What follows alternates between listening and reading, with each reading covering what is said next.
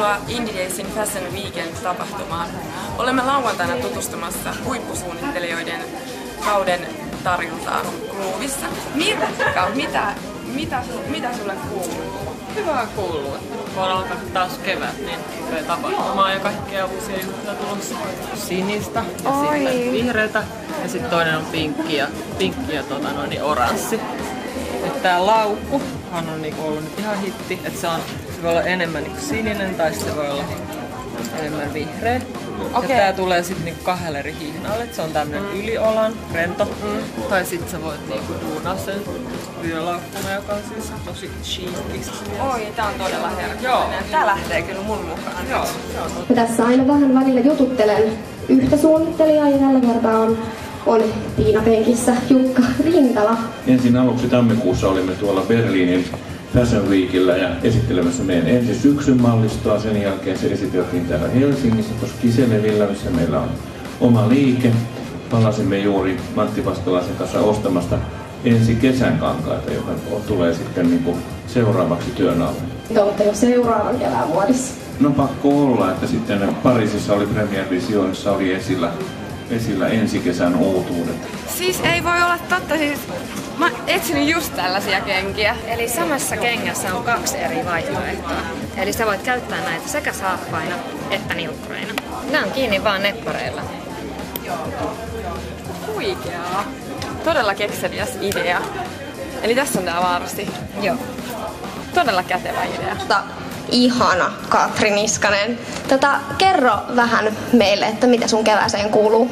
No saatiin toi uusi kesämallisto tonne putikkiin ja nyt sitten ton seuraavan syksyn kanssa ollaan vähän viemässä sitä maailmalle ja kaikkea tämmöistä messu, messuhärdeliä ja muuta, niin Teillä on tosiaan tullut just myyntiin toi uusi kevät-kesämallisto.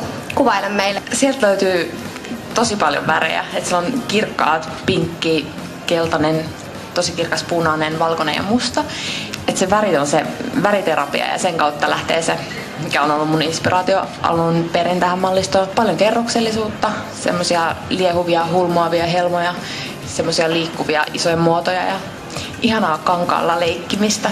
Eli hyvin Katri Niskasmaiselta kuulostaa. Näin voisi sanoa.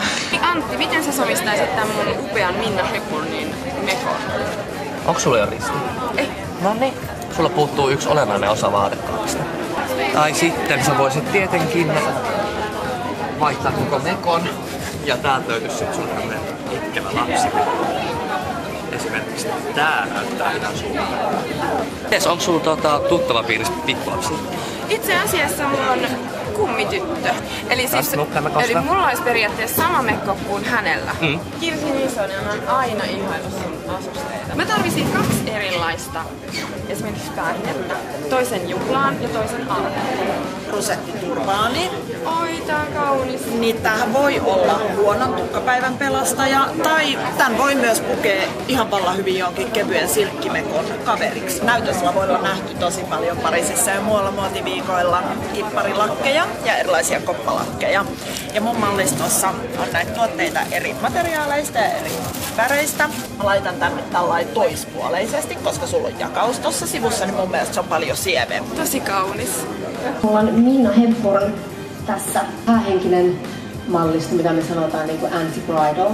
Eli just naisille, jotka ei välttämättä halua pistää mitään hirveätä kelmakakkuunelmaa päälle.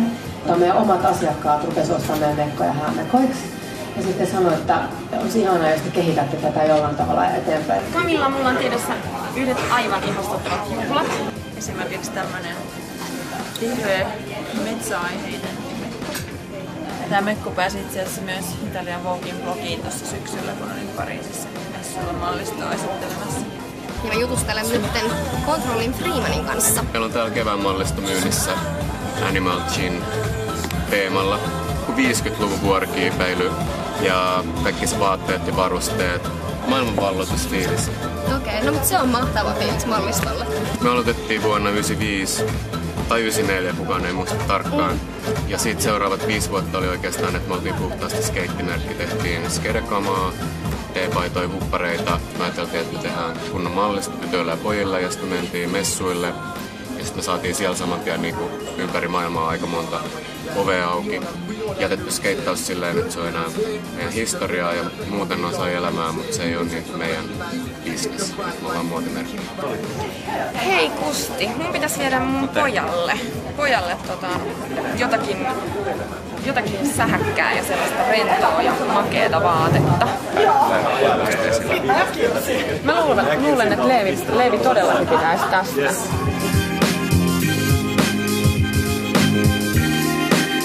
Hei Antti Asplund, mitä sun kevään kuuluu? Yeah.